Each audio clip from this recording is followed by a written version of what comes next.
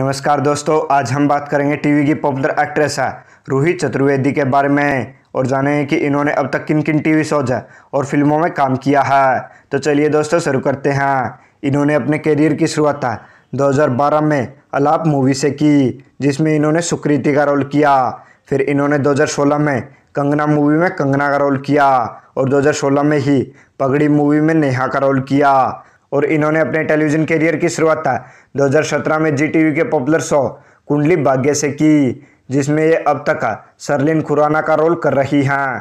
दोस्तों, ये हैं रोहित चतुर्वेदी के सभी टीवी शोज़ और फ़िल्में। आपको इन शोज़ में से कौन सा शो सबसे ज़्यादा पसंद है प्लीज़ कमेंट ज़रूर करें। और टी स्टार्स पर ऐसे इन्फॉर्मेटिव वीडियोज़ पाने के लिए हमारे चैनल को सब्सक्राइब ज़रूर करें।